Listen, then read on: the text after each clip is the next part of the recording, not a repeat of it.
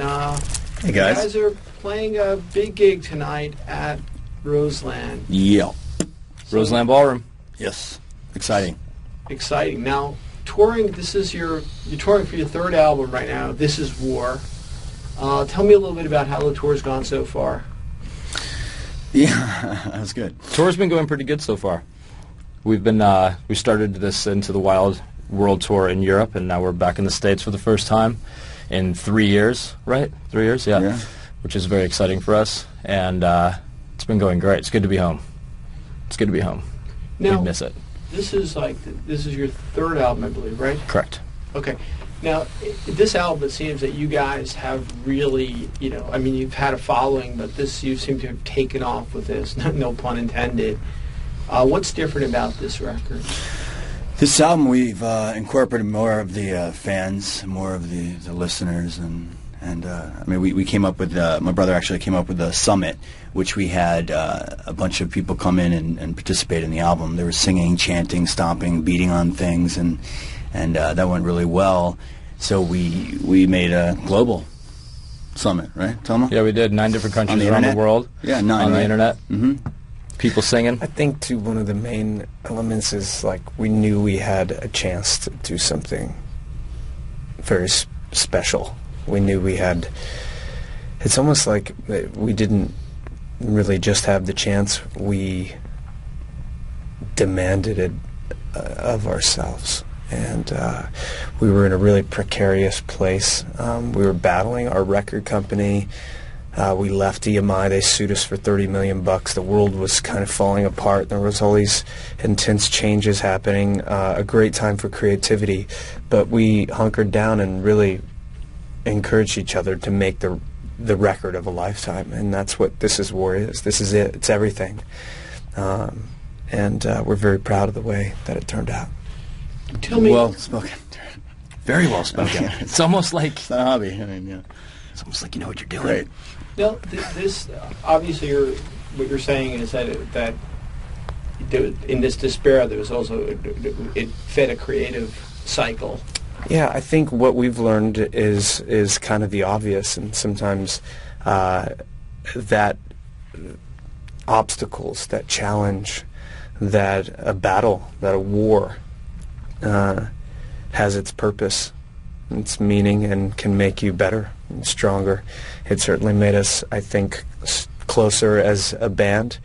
Uh, as a group of individuals working together, it helped make the song stronger and it helped make the record uh, uh, The way everything yeah. that we wanted it to Yeah. be. Mm-hmm. Absolutely. And, you know, what's been exciting is is launching this worldwide tour, which is called Into the Wild, and uh, we started in Europe in arenas, and now we've it was our first ever arena tour, so that was a huge deal for us and really exciting and humbling and just mind blowing, and we're so grateful for that experience. Uh, in about six six or seven weeks, we were in Europe, and now we're kind of cramming that energy into these shows in America, and it's been it's been a long time coming. Three year three years, I think maybe four years since we played uh, New York proper, Yeah. No, you're right. New York City, and uh, so it's great to return. It's great to come home. Now, in back to the writing process for this record, um, you know, you described the period. Tell me some of what came out of that. Some of the songs that you've written and what they meant while you were writing. Well, with struggle comes reward, and uh, in this case, there was no shortage of creative uh, energy, and we worked with a couple of the best producers in the world. Uh, our our first producer uh, was uh, is a guy named Flood, and he was a, a wonderful person to help us kind of set the foundation for the record, and then. He, Flood, if you don't know out there, has worked with uh, U2 and Nine Inch Nails, Smashing Pumpkins, PJ Harvey, Sigur Rós, and on and on and on and on. Depeche Mode, He's made a few records that Yeah. might be in your collection. and a lot of our favorite records as well. And Yeah. So we were really excited to work with him, and he just basically joined the band, and we went on this crazy adventure together. Yeah, it was cool to work with Flood because he was so involved and so hands-on, which is not necessarily a common trait for a producer. It's nice. It was fun. He taught us a lot. How has that translated to your live shows? I mean, has have you stepped things up for this tour as opposed to the t- tour for the second record? Oh yeah, f- absolutely. I mean, I think just the songs themselves on "This Is War" lend themselves to stepping it up, as you said.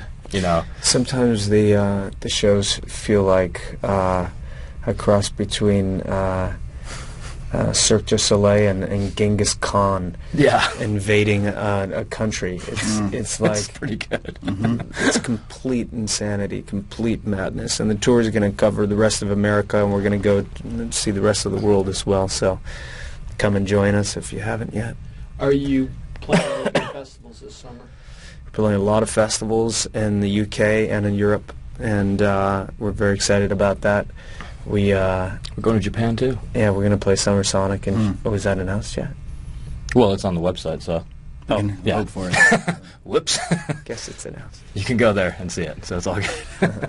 So, so with a band that has such such a strong following and you know puts out quality music, I mean, no denying that. Thanks, man. Thank you. What were the influences that shaped who you guys are? Who are the musicians that you looked to when you were growing up? Well, I think probably Shannon and Tomo are big influences, influencers uh, for me when making these records. But growing up, we all you know have a, a love for cl- uh, a lot of classic rock bands. Um, when we were kids, we listened to everything from Fleetwood Mac to The Police hmm uh, to Zeppelin. Um, Sabbath. I don't really call Police a classic rock band, but uh, now I guess they are. Pretty Um, much, not when we were They kinda kids. I think they're a classic rock band. As we got older, some U2 and uh, The Cure and Depeche Mode, Mhm. and then Nine Inch Nails and Radiohead and bands like that. Nirvana, Pumpkins. Yeah, So what the good of, stuff. Yeah. What what kind of music would your